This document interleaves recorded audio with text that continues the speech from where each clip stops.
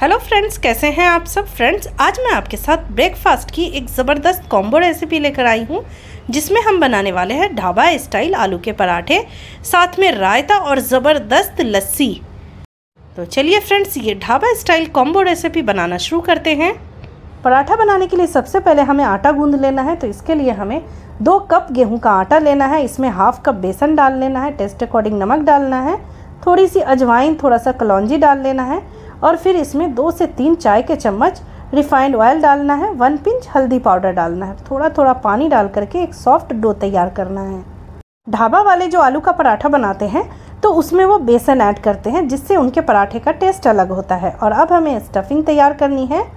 आलू की स्टफिंग बनाने के लिए हमें बॉईल किया हुआ आलू लेना है। आलू ठंडा होना चाहिए और इसे अच्छे से ग्रेट कर लें या मैश कर लें। और अब आधे इंच अदरक के टुकड़े को भी बारीक कट के यूज़ कर सकते हैं या इस तरह से ग्रेट करके यूज़ कर सकते हैं। और अब इसमें डाल लेना है हाफ़ टेबल स्पून साबुत ज़ीरा, हाफ़ टेबल स्पून कुटी हुई लाल मिर्च, हाफ़ टेबल स्पून कुटा हुआ साबुत धनिया, हाफ़ टेबल स्पून लाल मिर्च पाउडर, हाफ़ टेबल स्पून धनिया पाउडर, हाफ़ टेबल स्पून ज़ीरा powder, half tablespoon garam masala powder, taste according नमक, हाफ़ टेबल स्पून आमचूर पाउडर डाला है और थोड़ी सी हींग डाली है और थोड़ा सा कसूरी मेथी डालना है, बारीक कटा हुआ प्याज, बारीक कटी हुई हरा धनिया और थोड़ी सी हरी मिर्च भी डाल लेनी है। आलू में इन सारी चीज़ों को अच्छे से मिक्स कर लेना है और आलू की ये चटपटी सी स्टफिंग तैयार हो गई है तो इसे एक साइड रख लेना है और अब हमें बनाना है रायता। इसके लिए ली है एक कप दही, डाल लिया टेस्ट अकॉर्डिंग नमक, थोड़ी सी लाल मिर्च पाउडर थोड़ा सा भुना कुटा ज़ीरा थोड़ा सा काला नमक और चाट मसाला। और अब इसे अच्छे से मिक्स करना है और अब इसमें डाल लेना है बारीक कटी हुई प्याज थोड़ा सा बारीक कटा हुआ खीरा, बारीक कटा हुआ टमाटर बारीक कटा हरा धनिया, बारीक कटी हुई हरी मिर्च, फिर इसे भी मिक्स कर लेना है। तो ये रायता ऐसे भी सर्व कर सकते हैं, मगर हम इसे ढाबा स्टाइल बनाना है तो इसमें मैंने डाल लिया है ज़ीरा और लाल मिर्च का तड़का, जिससे ये रायता ज़बरदस्त लगता है खाने में। तो चलिए फ्रेंड्स रायता भी हमारा तैयार हो गया है। आटा भी अच्छे से सेट हो गया है तो इसकी अब हमें लोई बनानी है। जितना बड़ा आप पराठा बनाएँगे, उतनी बड़ी आप पहले इसकी लोई बना लें। और अब ये देखिए, हमें इस तरह से इसे बीच में स्पेस देते हुए आपको पराठे के लिए फिलिंग की जगह बनानी है। तो अंगूठे की मदद से इस लोई में कटोरी जैसी शेप देनी है और फिर इसमें स्टफिंग का छोटा सा पोर्शन डालना है और फिर इसे अच्छे से दबाते हुए फिल कर लेना है। ये देखिए, इसको अच्छे से सिल कर लेना है।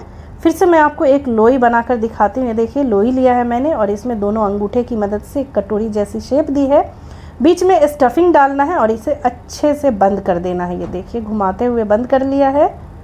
और अब चलिए, मैं आपको दिखाती हूँ कि इस पराठे को बेलना कैसे है।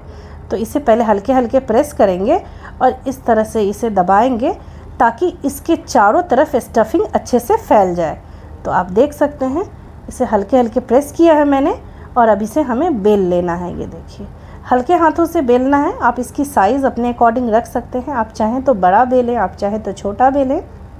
और ये देखिए फ्रेंड्स ना तो पराठे कहीं से फटे हैं और ना कहीं से ख़राब हुए हैं। तो फिर से मैं आपको दिखाती हूँ, इस तरह से अगर आप लोई को अच्छे से फैला लेंगे तो इसके अंदर की जो स्टफिंग है, वो चारों तरफ़ अच्छे से फैल जाएगी।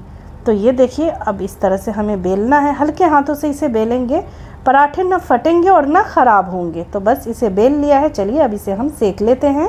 पराठे को सेकने के लिए तवे को पहले अच्छे से गर्म कर लेना है। आप चाहें तो नॉन स्टिक तवे पे सेक सकते हैं, आप चाहें तो लोहे के तवे पे सेक सकते हैं। तो तवा अच्छा गर्म होना चाहिए, उसके बाद गैस की फ्लेम मीडियम टू लो कर देनी है। उसके बाद पराठे को अलट पलट करके सेकना है।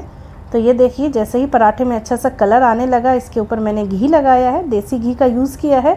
उसके बाद फिर से इसे पलट लेना है। और ये देखिए फ्रेंड्स, इसे अलटते पलटते मैंने सेका है गैस की फ्लेम मीडियम टू लो करके। और इसमें बहुत ही बेहतरीन सा गोल्डन कलर आया है और फूले फूले पराठे बनकर तैयार हुए हैं।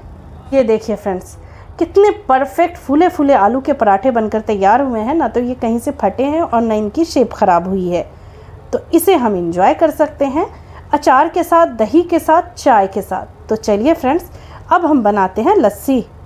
बनाने के लिए मैंने एक मिक्सर जार में दही ले लिया है, इसमें डाला है थोड़ा सा चीनी थोड़ी सी आइस और इसे ब्लेंड कर लेना है और एक ग्लास में इस तरह से डाल लेना है रू अफ़ज़ा रू अफ़ज़ा ऑप्शनल है, अगर है तो बहुत ही अच्छा इसका टेस्ट आएगा। और अब इसमें हमें लस्सी डालनी है तो ये देखिए परफेक्ट लस्सी बनी है।